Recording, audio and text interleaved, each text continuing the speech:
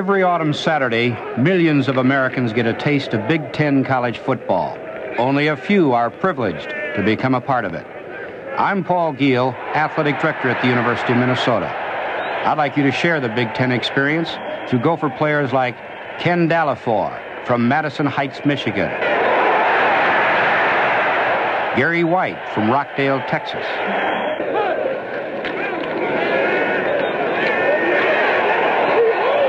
Kevin Kellen from Grand Rapids, Minnesota, and their coach, Smokey Joe Salem.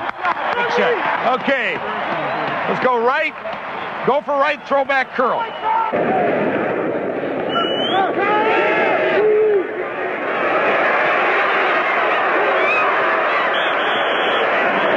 All right, good.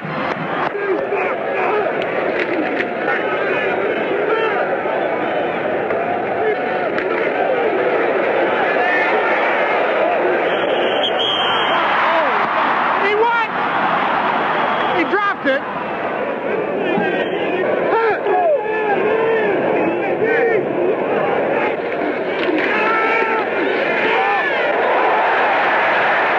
Oh, got a hell of a block. I mean, He really did, yeah. Uh, we're changing the style the Big Ten. We've come in with a uh, more wide open offense.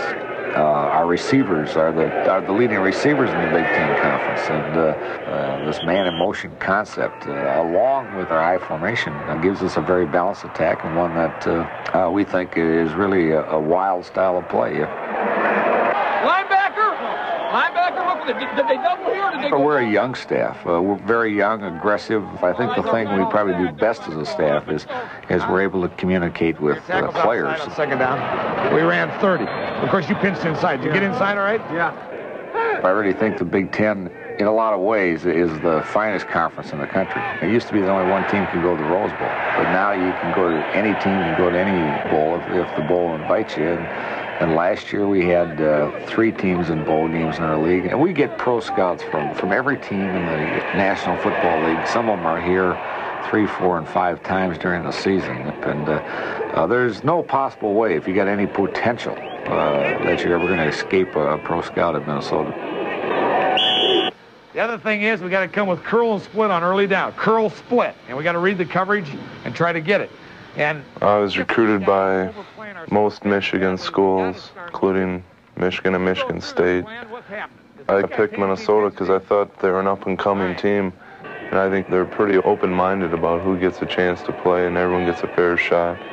And as far as helping my skills, I've really improved tremendously. I think a lot of it's because of the new coach. Well, hey, this guy made the tackle. Hey, we had the block inside. He dipped outside. We had everything we wanted on. No problem.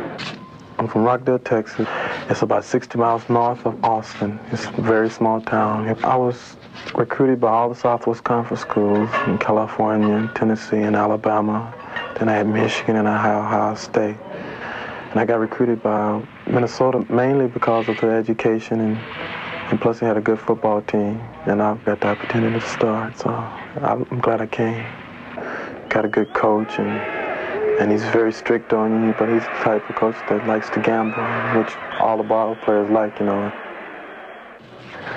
Well, I'm from Grand Rapids, up in northern Minnesota. I decided that the biggest opportunity for me was uh, through football, and I was recruited by the University of Minnesota, which was my probably my first choice where to go. There's no better football in the nation than Big Ten football. Overall, the the competition among teams in the Big Ten is just excellent.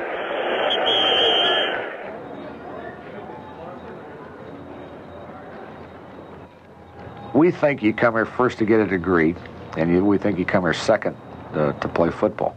Now, it doesn't mean we're not going to ask time. It doesn't mean that we're putting football in the background on anything. We're still going to demand that uh, you give us, uh, when you walk on the field, you're still giving us 100% there, too. But in the end, uh, the thing I have found that somewhere down the line, you have to quit playing football. And with that, you better be ready to do something else that, that you're going to enjoy doing. I've been thinking of going to graduate school.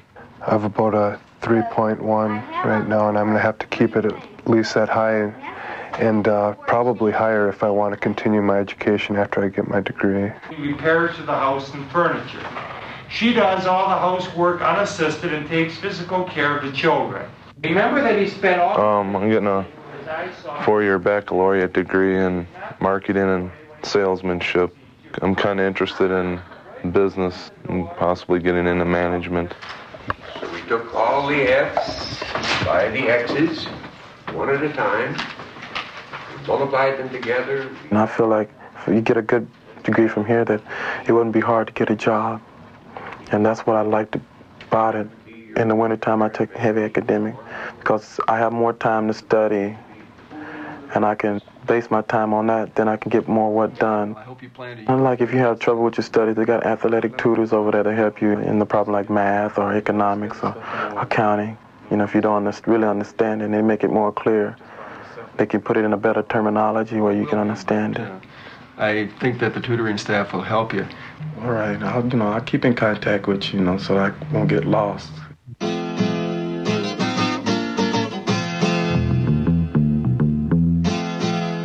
There's a style of living here. There's a, uh, a way of living that uh, is really second to none of most major uh, uh cities that you're metropolitan areas that you go to. And uh, it's a tremendous sports town. I think uh, we've got professional baseball, you have professional football, you got professional hockey, you got college basketball, college hockey, college football. when you want to be active yourself, I'd say the one area that is going to really be a boom is the building of the Dome in downtown Minneapolis the Gophers will play in it, and uh, you know we may even go to night football game. I think the Twin City offers a lot to a person who comes from out of state, because everything seems like it's so close. You got your theaters and and you got your good libraries and you got nice parks and lakes. When the springtime comes up here, I look forward to it because I can get out there and lay out on a lake or swim or something. It's, it's really nice.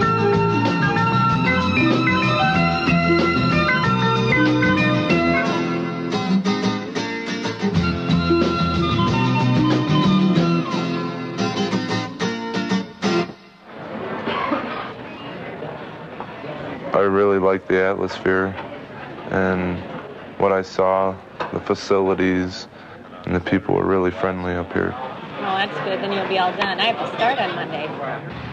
Well, I think it opens up more opportunities for you when you graduate. I think you're more uh, exposed to the real world, you know, going to a university around a big town like Minneapolis. You know, there's a lot of big corporations. I'd certainly like to work for any of them, like uh, 3M or Honeywell or any.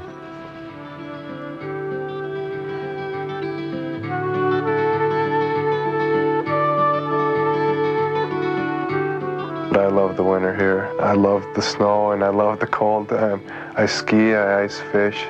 I enjoy it. Everything is so calm and quiet. I really enjoy that about Minnesota. It's so beautiful with all the, the snow too, up in the woods. I found friends here through the football team and and through college life that are as close or closer to the friends I had at home. And I can see that these friendships are going to last a long time. We care about each other. And that's what I liked about Minnesota football. You know, we're always looking after each other. You know, if somebody needs something, we're always there trying to help each other. And that's what I like about the team. I was amazed at uh, a study they did on the people I played with 20 years ago. If you could see the positions that they hold today, it'd knock your eyeballs out because uh, we're talking about vice presidents, we're talking about sales managers, we're talking about lawyers, we're talking about doctors, we're talking about everyone. Uh, the, the success of that football team today has to rank second to none in the country with what these people are doing. To me, that's the biggest opportunity Minnesota offers to you. It'll give you a great education, but better than that, it's going to give you a great opportunity once you graduate. And, and of course, that's what we're already going to school for. At 4 o'clock, man, hey, the season's over. Some of you guys are done playing. Some of you, of course, got a chance to go on. Those of you who are underclassmen, it's a step in the right direction for 1980. The only thing we ask of you as a coach and staff is that you go out and play with every dang bit of enthusiasm you got.